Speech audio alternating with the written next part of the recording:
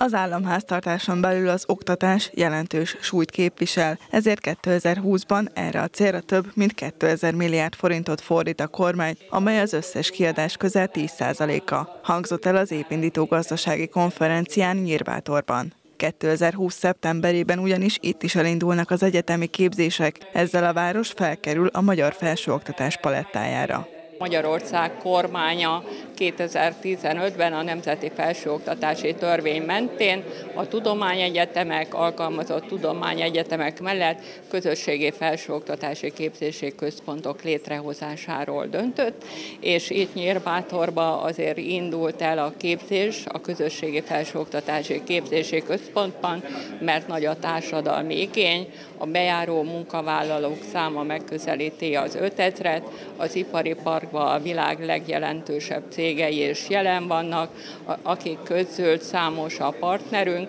Az Óbudai Egyetemmel mérnök informatikus alapképzést, a Debreceni Egyetemmel pedig vidékfejlesztési agrármérnök alapképzést indítanak majd, mindkettőt állami támogatással ösztöndíjas helyekkel. Nyírbátorban az elmúlt években jelentős volt a gazdasági növekedés. A polgármester kiemelte, ehhez elengedhetetlen, hogy az oktatás fejlesztéssel is lépést tudjanak tartani. Itt nagyjából azt kell látni, hogy a multinacionális vállalatok fejlesztései az elmúlt mondjuk úgy nagyjából 5-8 évben, ez nagyságrendileg 20 milliárd forint körüli beruházás összeget jelent, és ebben sok esetben még az egyéb folyamatos technológiai fejlesztések nem is feltétlenül látszanak ehhez mindig nagyon komoly kormányzati támogatást is kapnak a cégek és a város, de ami nagyon fontos, hogy ezek a fejlődések akkor tudnak tovább menni, most már a munkaerőpiacot is figyelembe véve, hogyha elsősorban nem munkahelyteremtés, hanem technológiai fejlesztés valósul meg.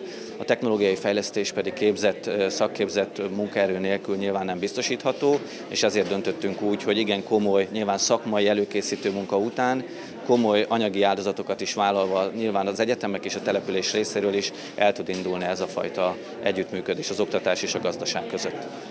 A város az infrastruktúrát biztosítja a szeptemberben induló helyben maradást is célú kitűző vállaláshoz. A képzési központ épületének felújítása közel 200 millió forint volt, a képzési költségeket pedig az egyetemek állják.